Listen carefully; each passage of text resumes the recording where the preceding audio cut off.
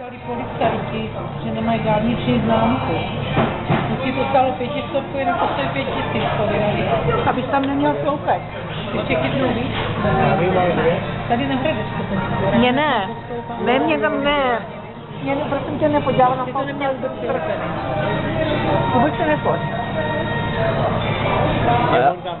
a já jsem slyšel, že brzo přijdou na řadu elektromobily a celá, celý, všechny automobilky budou do prčí.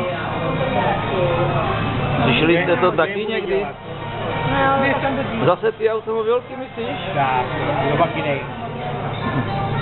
Myslím, že obou mít